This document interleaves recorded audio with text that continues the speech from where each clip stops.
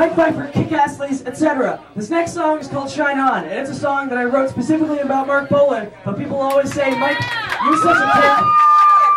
Alright. In general, really. Alright, so we ready?